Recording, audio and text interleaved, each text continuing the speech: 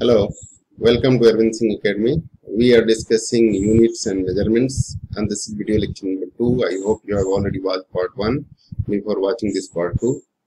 In this lecture we are going to discuss about uh, length, measurement of length and how length can be measured and what is the range of the length that we can measure.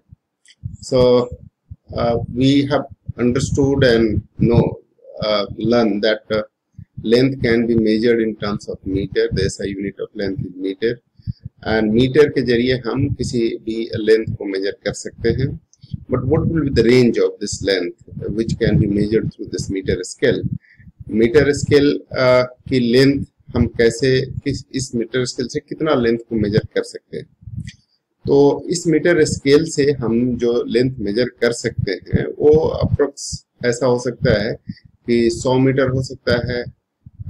Even metre scale से बहुत ज़्यादा आप जाकर के एक दो kilometre, दस kilometre तो ऐसे नहीं मेजर कर सकते। एक मीटर स्केल लगभग इतना बड़ा होता है उससे बार बार ऐसे रोटेट कर, करके रोटेट कर, करके आप बहुत लंबी दूरी तो मेजर नहीं कर सकते। मान भी लेते हैं कि कुछ सेवरल किलोमीटर तक मेजर किया जा सकता है। एक मीटर को अगर कई बार मल्टीप्लाई करके और सौ मीटर में बदल दिया जाए फिर उस 100 मीटर लेंथ से मेजर किया जाए तो ऐसा हो सकता है बट मीटर से बहुत ज़्यादा दूरी तक क्या ये आप महसूस करते हैं कि मीटर से हम यहाँ से अमेरिका की डिस्टेंस मेजर कर लें? या यहाँ से कोलकाता की डिस्टेंस मेजर कर लें, दिल्ली से कोलकाता की? नहीं, ये संभव नहीं है। तो मीटर से की एक लिमिटेशन है, उससे बहुत लंबी दूरी मेजर नहीं की जा सकती। इसी तरह से मीटर से बहुत छोटी दूरी भी मेजर नहीं की जा सकती, जैसे कि मीटर से हम सेंटीमीटर तक मेजर कर सकते हैं। सेंटीमीटर या मिलीमीटर तक मेजर कर सकते हैं। लेकिन उससे ज़्यादा उससे छोटी अगर लेंथ मेजर करना हो तो मीटर के बस की बात नहीं। तो मीटर का एक रेंज है। अब सवाल ये है कि तो उससे बड़ी जो दूरी है, हम ये कहते हैं कि पृथ्वी से सूर्य की दूरी इतनी किलोमीटर है तो ये कैसे पता चलता है? या हम ये कहते हैं कि यहाँ से अमेरिका इतना किलोमीटर है तो ये कैसे पता चलता है? या प्रशांत महासागर की जो डेप्थ है, वो इतना किलोमीटर है। तो ये सब कैसे पता चलता है? तो ये सब पता करने के लिए क्या हम मीटर से जाकर के मापते हैं? नहीं, ऐसा नहीं है। तो क्या क्या मेथड्स है जिससे हम लेंथ को मेजर करते हैं? ये हमें सीखना है। तो सबसे पहली जो चीज़ है, वो है कि मेज़रमेंट ऑफ़ लेंथ ये हमें सीखना है मेज़रमेंट ऑफ़ लेंथ क्या है, और वहाँ से आगे बढ़ते हैं। तो जो मीटर स्केल है, उसकी जैसा कि मैंने कहा कि जो रेंज है उसको मेजर करने के लिए हम टेन टू दी पावर ये कह सकते हैं कि टू से, यानी सौ मीटर से ज़्यादा से ज़्यादा और कम से कम ten to the power minus three metre यानी एक मिलीमीटर तक की लेंथ को हम मेजर कर सकते हैं। तो एक मिलीमीटर से लेकर के सौ मीटर तक मीटर स्केल से मेजर किया जा सकता है और ये कह सकते हैं कि इसमें एक्यूरेट मेज़रमेंट हो सकती है। लेकिन अगर बहुत लंबी दूरी को मेजर करना है तो उसके लिए एक मेथड होता है जिसको कहते हैं पैरालैक्स मेथड और जो सबसे छोटी दूरी को मेजर करने की बात होती है, जैसे मोलिकुल की साइज़ है एटम की साइज़ है, ऐसे लेंथ को अगर मेजर करना है तो उसके लिए इलेक्ट्रॉन माइक्रोस्कोप होती है। इलेक्ट्रॉन माइक्रोस्कोप से हम मेजर कर पाते हैं छोटे छोटे लेंथ को। या और छोटे, अभी एक टनलिंग माइक्रोस्कोपी निकला हुआ है उससे भी हम और ज़्यादा छोटे लेंथ को मेजर कर सकते हैं फाइन रेजोल्यूशन तक। आ, मतलब रेजोल्यूशन जो है उससे ज़्यादा बेहतर होगा इलेक्ट्रॉन माइक्रोस्कोप से भी। तो ऐसी सिचुएशन को हम कैसे मेजर करते हैं और क्या तरीके हैं उनको मेजर करने का? पैरालेक्स मेथड क्या है? इलेक्ट्रॉन माइक्रोस्कोप से कैसे मेजर करते हैं? आ, ये सब सीखना है। एक और चीज़ जो आप इलेवेंथ क्लास में गए होंगे तो आपने सीखा होगा और देखा होगा या प्रैक्टिकल किए होंगे तो आपको कुछ चीज़ें मिला होगा स्लाइड कैलिपर्स उसके अलावा स्क्रू गेज स्पेरोमीटर ये सब भी लेंथ मेजर करने के काम आते हैं। इनसे भी हम छोटे छोटे लेंथ को मेजर कर सकते हैं। जैसे एग्ज़ाम्पल के तौर पे ये कहा जाए कि वर्नियर कैलिपर्स जो है स्लाइड कैलिपर्स या वर्नियर कैलिपर्स जिससे हम 10 to the power minus four metre मतलब 0.1 मिलीमीटर तक का आ, हम लेंथ मेजर कर सकते हैं और एक्यूरेट मेजर कर सकते हैं। उसके अलावा स्क्रू गेज होती है स्पेरोमीटर होती है उससे 0.01 मिलीमीटर तक का भी लेंथ हम एक्यूरेट मेजर कर सकते हैं। लेकिन इससे अगर नीचे जाना हो तो क्या करेंगे और कैसे करेंगे? तो आइए इस पर कुछ बात करते हैं आज। और इसी टॉपिक पे आज हमें बात करनी है। तो सबसे पहले टॉपिक का नाम लिख देता हूँ और टॉपिक का नाम है measurement of length measurements of length ठीक है? No the SI unit is metre and meter scale meter scale can measure can measure lengths from 10 to the power minus 3 meter that is 1 millimeter to 10 to the power 2 meter that is 100 meter. Easily with accuracy. Accuracy we can measure. But length below this a smaller length up to 10 to the power minus 4 meter that is 0.1 millimeter can be measured can be measured with the help of with the help of help of vernier calipers calipers right? And even with the help of screw gauge with the help of screw gauge screw gauge and spherometer and spherometer we can measure length up to length up to 10 to the power minus 5 meter that is 0.01 millimeter. But a smaller length than this like size of molecule size of molecule radius of molecule radius of atom like that. So how can we measure? The smaller unit which can, in which we can measure the length is popularly known as angstrom and angstrom is one angstrom is 10 to the power minus 10 meter. So let me explain this. The smaller unit of measuring the length smaller unit of measuring length measuring length is angstrom angstrom angstrom and one angstrom is like this symbol and one angstrom age 1 angstrom is 10 to the power minus 10 meter. So this is the smaller unit, but that can be also described in terms of meter. So 1 angstrom is nothing else but 10 to the power 10 meter. तो ये एक unit है, जिसमें हम छोटे length को major करते हैं, और उसको कि one angstrom two angstrom so electron microscope electron microscope microscope can be used to measure lengths smaller than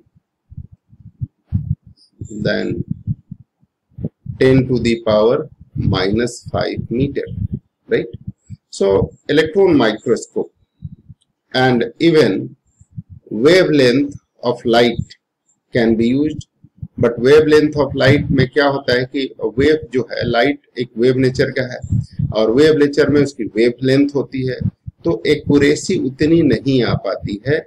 इसलिए इलेक्ट्रॉन माइक्रोस्कोप को यूज़ किया जाता है ताकि इलेक्ट्रॉन भी एक वेव नेचर को फॉलो करता है बट इसकी वेव ले, जो लेंथ होती है वो बहुत छोटी होती है जिससे इससे मेजर करने में सुविधा होती है। तो जैसा कि मैंने बताया कि optical microscope optical microscope microscope can resolve resolve the length from 400 angstrom to 700 4000 to 7000 angstrom since this is the range of visible light this is the length of range of range of visible light so, जितना visible light की range है, इतना तो हमें दिखेगा। Visible light और इसी की वेवलेंथ को हम लेकर के और लेंथ को मेजर करते हैं। अब ये एक angstrom ten to the power क्या है?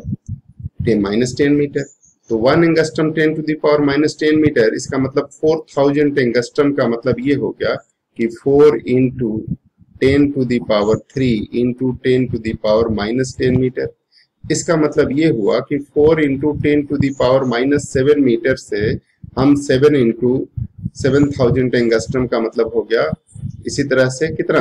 के seven into ten to the power minus seven metre इतना ही हम मेजर कर सकते हैं। जबकि एक मोलिक्यूल की जो साइज़ होती है the size of a molecule is between ten to the power the size of molecule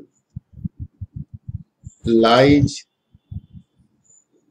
between और range between 10 to the power minus 8 to 10 to the power minus 10 meter. So it is difficult to measure the, the length below this that is in this range molecular size by using optical microscope. Optical microscope को use करके हम ये चाहें कि हम किसी size की molecule को पता कर लें तो हम नहीं पता कर सकते क्योंकि इसकी रेंज इतनी ही है और जो मोलिकुलर साइज़ है, वो इससे काफ़ी, इससे नीचे है। 10 to the power minus eight to, ten to the power minus ten metre. इसलिए इलेक्ट्रॉन माइक्रोस्कोप की ज़रूरत पड़ती है। और इलेक्ट्रॉन माइक्रोस्कोप की खूबी क्या है?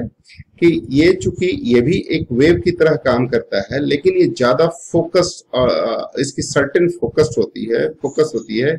इसलिए ये ज़्यादा एक्यूरेट मेज़रमेंट कर सकता है। So electron beam can be focused electron beam since electron beam can be focused focused electron beam can be focused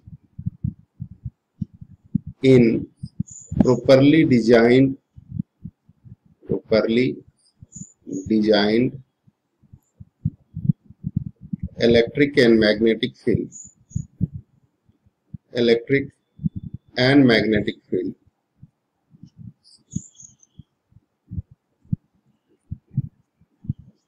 Field. Certainly with more certainty certainty. Therefore therefore electron microscope microscope is used to measure length of molecular molecular size molecular size molecular size ठीक है Length of molecular size length of a molecule. ये भी कह सकते हैं length of molecular size ठीक है? तो ये होता है जो हम इलेक्ट्रॉन माइक्रोस्कोप से मेजर कर सकते हैं। क्योंकि इसकी फोकस जो है, वो ज़्यादा एक्यूरेट है और ये दिखता तो इलेक्ट्रॉन को देखने की ज़रूरत नहीं है। इलेक्ट्रिक और मैग्नेटिक फ़ील्ड को प्रॉपरली अगर डिज़ाइन किया जाए तो इलेक्ट्रॉन को बिना देखे ही उसकी बम्बारमेंट से इलेक्ट्रॉन बीम होती है तो इसकी बम्बारमेंट से जो है, वो लेंथ का पता चल जाएगा। इसमें विजिबल लाइट की ज़रूरत नहीं है। विजिबल लाइट को तो देखना होता है, लेकिन इसमें देखने की ज़रूरत नहीं है। तो इलेक्ट्रॉन बीम की बम्बारमेंट से हमें पता चल जाएगा कि लेंथ कहाँ है और कितना है। तो इसलिए इलेक्ट्रॉन माइक्रोस्कोप की ज़रूरत पड़ती है। और अभी एक tunnelling microscopy tunnelling microscopy microscopy is used to measure more accurate more accurate accurate length more accurate length तो ये एक अभी रिसेंट डेवलपमेंट है जिसमें टनलिंग माइक्रोस्कोपी को यूज़ किया जाता है और ये टनलिंग माइक्रोस्कोपी जो है वो ज़्यादा बेहतर लेंथ प्रोड्यूस कर पाता है।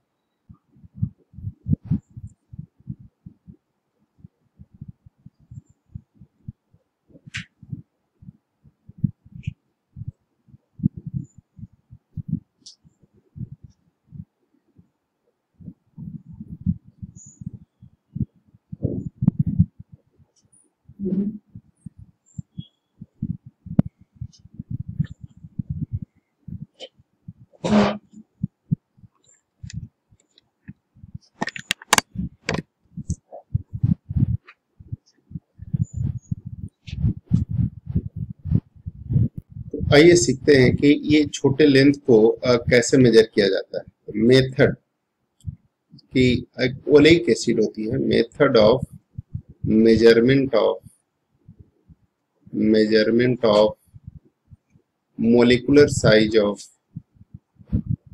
molecular size of oleic acid oleic acid ठीक है? ये एक तरीका है जिससे हम छोटे लेंथ को मेजर कर सकते हैं। सबसे पहले क्या करते हैं कि ओलेइक एसिड का एक ड्रॉप लेते हैं और एक ड्रॉप को एक सेंटीमीटर क्यूब को आ, एक सेंटीमीटर क्यूब लिया हमने और उसे 20 सेंटीमीटर क्यूब में 20 सेंटीमीटर क्यूब के अल्कोहल में ये 20 सेंटीमीटर क्यूब था इसमें हमने इसको मिक्स कर दिया। One centimetre cube of oleic acid oleic acid, और इसको 20 सेंटीमीटर के अल्कोहल में डिजोल्व कर दिया, अल्कोहल में। तो क्या मिलेगा? तो ये मिलेगा एक सॉल्यूशन, जो डाइल्यूटेड सॉल्यूशन होगा, है ना? Diluted solution 20 centimetre cube. मतलब इसमें तो मिलाएँगे नाइनटीन सेंटीमीटर क्यू ही, यानी ताकि ये ट्वेंटी सेंटीमीटर क्यूब हो जाए अल्कोहल के साथ।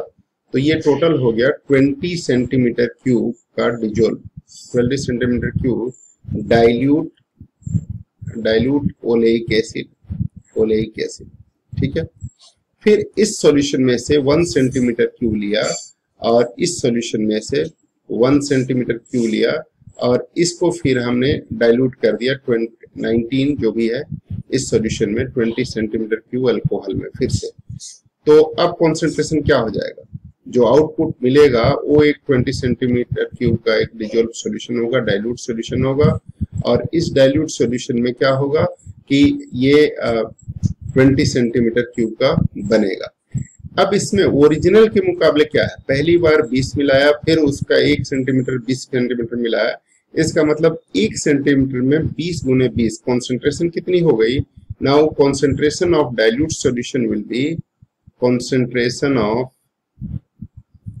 ट्रेशन of oleic acid oleic acid in alcohol alcohol will be what? Alcohol will be one upon twenty into twenty centimetre cube, right? Now, मान लेते हैं कि अब इसका एक ड्रॉप पानी में डाल देते वाटर में। ये वाटर है, और इसमें इसका एक ड्रॉप डाल दें।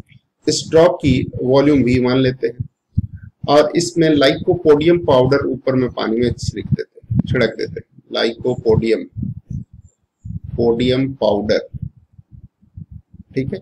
इसमें डाल देते हैं बहुत सारा और उसमें एक इसका, एक सॉल्यूशन का एक ड्रॉप डालते हैं, जिसकी वॉल्यूम भी है। ऐसे ही कुछ और ड्रॉप डाल दिया गया इसके सरफेस पे। तो ये क्या होगा कि एक स्पेरिकल बबल बन जाएगा। स्पेरिकल बबल बन जाएगा तो उसकी हम डायमीटर मान सकते हैं और डायमीटर मेजर कर सकते हैं और डायमीटर मेजर करने के बाद हम क्या मेजर कर सकते हैं? स्पेरिकल है तो उसका एरिया कैलकुलेट कर लेंगे। A is area of spherical bubble spherical bubble. ठीक है? ये बबल के रूप में आ जाएगा, उसकी जब हम वाटर में डालेंगे तो एक बबल के रूप में ऊपर से तैरता हुआ रहेगा और उस स्फेरिकल बबल की हम रेडियस मेजर कर सकते हैं। तो as area of spherical bubble और वो अगर मान लो कि एन ड्रॉप डाला तो टोटल वॉल्यूम क्या हो गया? एन बी एन भी हो गया volume volume of n drop n drops ठीक है? अब इसका अमाउंट ऑफ़ ओलेइक एसिड कितना हो गया? So therefore amount of oleic acid oleic acid ये होगा volume into concentration that is volume is n V and concentration is what 1 upon 20 into 20 centimetre cube right this is what तो ये हो गया amount of oleic acid in water in water or you can say solution ठीक है oleic acid in solution so now if T be the thickness the thickness thickness of bubble right then T is equal to what then T is equal to thickness is equal to what volume of volume of oleic acid oleic acid upon area area of acid bubble so what is that nv upon 20 into 20 centimeter cube और area को A मान लिया ए है अब इसमें ये area calculate किया जा सकता है क्योंकि हमने डायमीटर मेजर कर लिया तो एरिया कैलकुलेट किया जा सकता है और इस हिसाब से ये निकल के आ जाएगा इसका थिकनेस तो थिकनेस निकल के आएगा थिकनेस क्या होगा? एक सेंटीमीटर में आएगा, है ना? तो volume centimetre cube area centimetre square तो ये सेंटीमीटर में थिकनेस निकल के आ जाएगा। And this become the size of the size of molecule of that is molecular size of oleic acid oleic acid. If we put all the values of this set parameters, then it will come that is 10 to the power 9 is minus 9 meter approx. so, ये इस तरह से calculate किया जा सकता है चूँकि ये नंबर ऑफ़ ड्रॉप्स आप कैलकुलेट कर सकते हैं वॉल्यूम कैलकुलेट कर सकते हैं चूँकि थिकनेस उसकी वॉल्यूम एक ड्रॉप का आप मेजर कर सकते हैं और एरिया चूँकि स्फेरिकल बबल है तो वो आपसे मेजर कर सकते हैं तो सब कर लेंगे तो थिकनेस आ जाएगी। थिकनेस का मतलब ये हुआ कि जो उसका मोलिकुलर साइज़ है, वो आपको कैलकुलेट करके आ जाएगा। That will be ten to the power minus nine metre I hope you got it तो इस तरह से छोटे लेंथ को मेजर किया जा सकता है। बड़े लेंथ को मेजर करने के लिए तो इस प्रकार से छोटे डिस्टेंस को मेजर कर सकते हैं। अब बड़े डिस्टेंस को मेजर करना है तो एग्ज़ाम्पल एक लेते हैं। जैसे मान लीजिए कि हम रात में मून को देखते हैं। तो मून तो बहुत छोटा ही है। लेकिन अगर ऐसा ही कोई चीज़ आप, मान लीजिए छोटी सी चीज़ को देखते हैं और आप अपनी बाई आँख बंद करके और दाई आँख से देखेंगे तो इसकी इमेज थोड़ी सी दूसरी जगह दिखाई देगी प्लेस दूसरी दिखाई देगी। और अगर दाई आँख बंद करके बाई आँख से देखेंगे तो दूसरी दिखाई देगी। ये ऐसा है कि ये दो आँख है, आपका ए और बी और यहाँ से इसको देखते हैं और यहाँ से देखते हैं तो इसके रेजोल्यूशन में फ़र्क आता है किसी भी ऑब्जेक्ट को। इवन आप छोटी सी चीज़ आप देख सकते हैं, दीवार पे भी किसी चीज़ को तो ऐसा दिखाई देगा। किसी चश्मे वाले के यहाँ अगर आप गए होंगे तो कहता होगा कि एक बार बाई आँख से बंद करके देखो, एक बार दाई आँख से बंद करके देखो।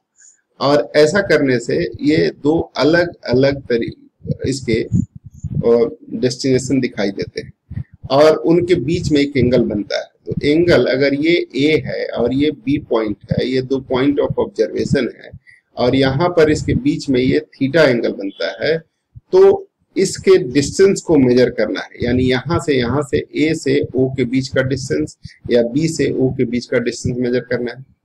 अब ये चूँकि डिस्टेंस बहुत बड़ी होती है, जैसे मून की हम कह रहे हैं बात तो यहाँ से डिस्टेंस बहुत बड़ी है तो उसके कंपेरिजन में ए बी को हम क्या मान सकते हैं? एक आर्क मान सकते हैं।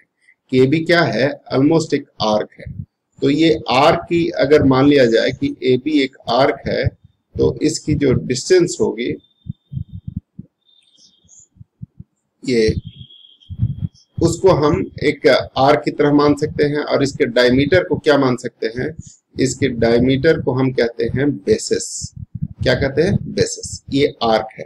लेकिन इसी के डायमीटर जो है, उसको हम कह सकते हैं कि ये है हमारा बेस बी ये डायमीटर जो है, वो है बेस बी और इस डायमीटर को, इस डायमीटर को हम कह सकते हैं बेस बी इसको बी स्टैंड फॉर बेसिस कहते हैं। ठीक है? तो ये जो डायमीटर है इसका, इसको हम कहेंगे थोड़ा और नीचे कर दो। ताकि पता चले। हाँ ये जो है, ये डायमीटर हो गया। तो ये डायमीटर में और आर्क में कोई फ़र्क नज़र नहीं आ रहा। इसलिए इसको हम कहेंगे बेसेज। और ये जो ए से ओ तक का डिस्टेंस है, इसको हम कह सकते हैं डी कैपिटल डी कह सकते हैं, यहाँ से भी कैपिटल डी सकते हैं। अब आपने सीखा था कि angle is equal to arc by radius arc by radius होता है ना? Angle is equal to arc by radius ठीक है? तो रेडियस यहाँ पे डायमीटर जो है, ये पूरा बेसेज बी है है ना? तो आर्क क्या हो गया? आर्क हो गया बेसिस बी और रेडियस क्या हो गया? ये अगर सर्कल है तो ये पूरा सर्कल है तो डी है इसका रेडियस और ये है थीटा और थीटा किसमें मेजर करते हैं? आपको कल से बता रहा हूँ कि थीटा का मेज़रमेंट होता है रेडियन में। तो अब डी निकालना है आपको तो डी इज़ इक्वल टू क्या हो जाएगा? बी अपॉन थीटा थीटा आप एंगल तो मेजर कर सकते हैं इजिली और एंगल चूँकि आप मेजर कर सकते हैं और दो पॉइंट ऑफ़ ऑब्जर्वेशन के बीच का डिस्टेंस भी मेजर कर सकते हैं। तो ये मेजर किया जा सकता है, ये मेजर किया जा सकता है तो ये दोनों को कैलकुलेट करने के बाद डी निकल जाएगा। इस मेथड को कहते हैं पैरालेक्स मेथड और जो ये एंगल बन रहा है, इसको कहते हैं पैरालेक्स एंगल इसको कहते हैं पैरालेक्स एंगल पैरालेक्स एंगल ठीक है? और इसका एक दूसरा नाम भी है पैरालेटिक एंगल इसको कहते हैं पैरालेटिक एंगल पैरालेटिक एंगल ठीक है? इसको कहते हैं। और ये एंगल मेजर किया जा सकता है। और इस मेथड को कहते हैं पैरालेक्स मेथड मेथड को क्या कहते हैं? पैरालेक्स मेथड किस लिए इस्तेमाल किया जाता है जी? ये इस्तेमाल किया जाता है लार्जर डिस्टेंस को मेजर करने के लिए।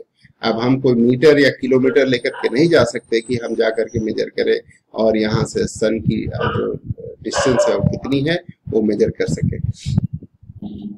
तो यहाँ पर क्या क्या है? यहाँ पर बी जो है, इसको हम कहते हैं basis distance between two observation that is what basically ये क्या है? ये डिस्टेंस बिटवीन टू ऑब्जर्वेशन है। The distance between two observation between two observations.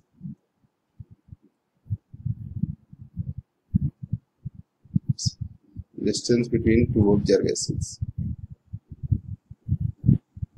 ठीक है और d आप क्या है distance and d is what nothing else but the distance of distance from point of observation Observation to the object. ठीक है? तो इस तरह से डिस्टेंस मेजर किया जा सकता है और डिस्टेंस मेजर करने से हम कहते हैं कि अर्थ से सन का डिस्टेंस है। तो चाहे आप अमेरिका से एक पॉइंट से मेजर कर लो, एक इंडिया से मेजर कर लो, ये उस डिस्टेंस के मुकाबले तो इस तरीके से आप छोटे और बड़े डिस्टेंस को मेजर कर सकते हैं लेंथ ऑफ़ मेज़रमेंट अब इस पर हम कुछ न्यूमेरिकल आगे करेंगे और फिर आगे बात करेंगे। टिल देन बाय बाय अगली क्लास में फिर मुलाकात चलिए, ठीक है? God bless